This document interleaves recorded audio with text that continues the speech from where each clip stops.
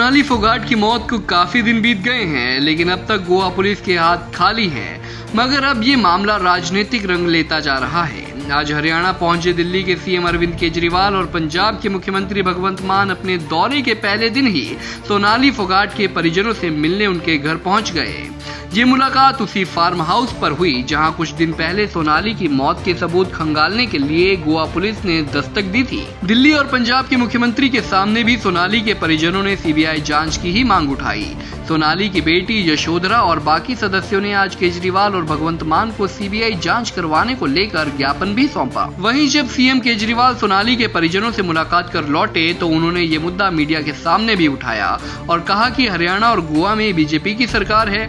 केंद्र में भी भाजपा की सरकार है। इस मामले में सरकार को फैसला लेने में दिक्कत क्यों हो रही है?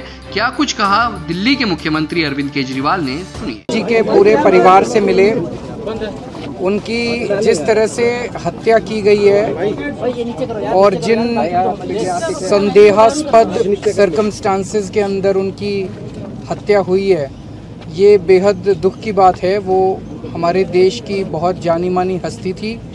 हमारे देश की बेटी थी हमारी बहन थी। आ, पूरा परिवार इस वक्त बहुत ज़्यादा सदमे में है। पूरे परिवार को लग रहा है कि उनके साथ बहुत बड़ा अन्याय हुआ है।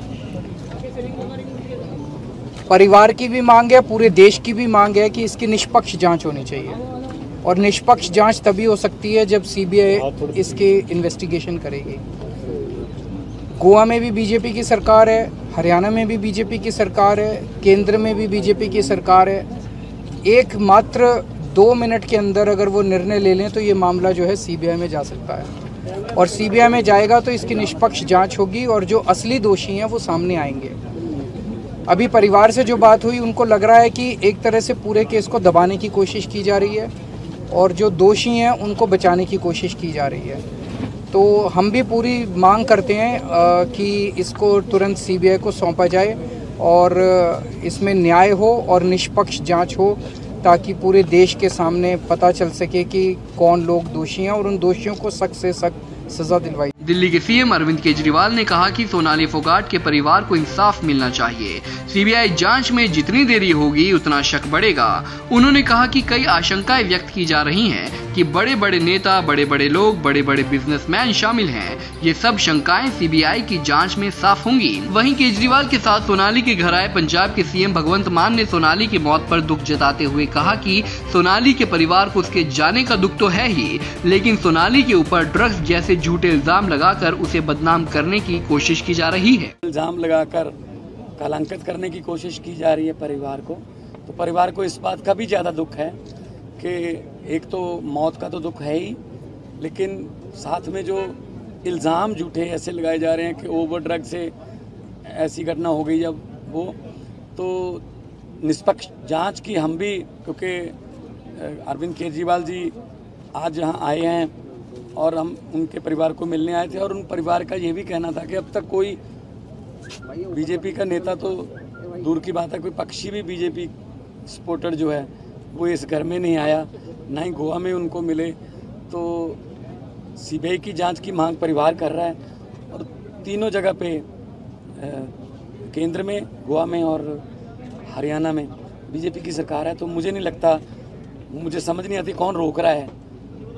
वैसे तो सीबीआई भेजने में एक मिनट नहीं लगाते, लेकिन अगर कोई ऐसी जाँच करनी हो तो पता नहीं क्यों मामले को दबाया जा रहा है। लेकिन देश की बेटी थी पार्टी जो मर्ज़ी हो, विचारक मतभेद चलते रहते हैं it's a part of democracy पर देश की बेटी के साथ जो अन्याय हुआ है, उसको न्याय मिलना चाहिए, ताकि परिवार वालों को ये तसल्ली हो जाए और उनका, उनको ये लगे कि हाँ इस देश में न्याय होता है। भगवंत मान ने भी केजरीवाल की तरह सरकार की मंशा पर सवाल खड़े कर दिए। उन्होंने कहा कि वैसे तो सरकार सीबीआई को भेजने में एक मिनट नहीं लगाती, लेकिन ना जाने क्यों इस मामले में सरकार सीबीआई की जाँच नहीं करवा रही। बता दें कि अरविंद केजरीवाल दो दिन के हरियाणा दौरे पर हैं। आज उन्होंने सबसे पहले हिसार में आम आदमी पार्टी के कार्यकर्ताओं से मुलाकात की, जिसके बाद वे सीधा सोनाली फोगाट के घर पहुँचे और सोनाली के परिजनों को हर संभव सहायता का आश्वासन दिया। हिसार से सुधीर पांडे, पंजाब केसरी टीवी। हमसे जुड़े रहने के लिए हमारे YouTube चैनल को सब्सक्राइब करें और नई वीडियो की नोटिफिकेशन के लिए बेल आइकॉन को दबाएँ।